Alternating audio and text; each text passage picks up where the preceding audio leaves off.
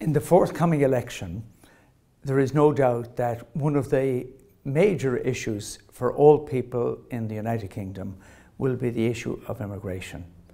And I would like to suggest that there's three things that we should do in reflecting about that issue before the election.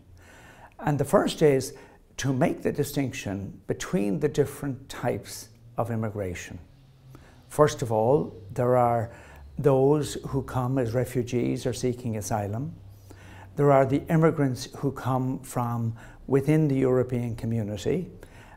There are those who come with a visa, whether a tier one, two, five, or four, from outside the European Union. And then there are also the victims of human slavery and trafficking. So the first thing to do is to be aware of the distinctions between the different forms of migration. Secondly, I think it's also very important to understand and to remember and consider the principles that Catholic teaching has given us with regard to migration. And the first of those principles is that every person has a right to migrate. But secondly, every country has a right to regulate migration within that country.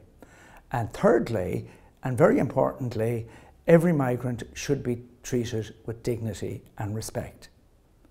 And the third point I would make that's very important uh, in the run up to the election and preparing and considering how one might vote is that it is important for us as a country that we try and build unity and facilitate integration. And there are three steps, especially in that. And the first is to have an attitude uh, of welcome. So, people coming from other countries, no matter where they are, do feel that they are welcomed in the country. And secondly, that we facilitate people coming from other countries uh, to engage in the community, that they feel they belong. And lastly, in the long term, help those who are immigrants and come to the country to develop a sense of ownership of the country, of its culture, of its ways, of its practices, uh, and all other aspects of the United Kingdom.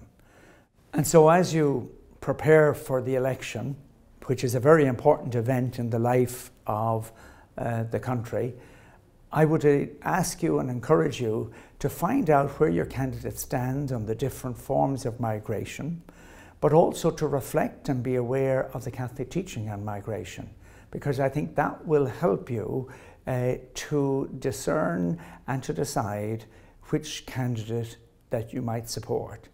And so I would uh, pray for you that as you reflect on the election and reflect on what your choice of candidate might be, I, I offer you my blessings and encouragement.